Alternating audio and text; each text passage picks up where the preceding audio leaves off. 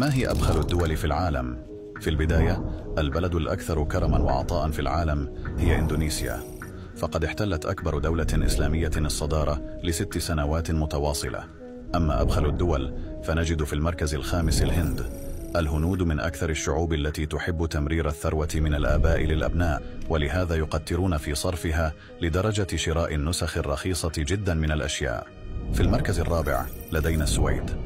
بسبب التضخم وغلاء الأسعار أصبح السويديون من بين أكثر الشعوب بخلا حيث أن معدل شراء المنتجات المحلية انخفض 11% أما ثالثا نجد سويسرا. بالرغم أن سويسرا تعتبر من بين أقوى الاقتصادات في العالم إلا أن شعبها يعتبر من بين الأكثر بخلا فالسويسريون يفضلون ادخار الأموال على شراء المنازل ويعتبرون أقل الشعوب امتلاكا للعقارات في أوروبا. ثانيا نجد فرنسا.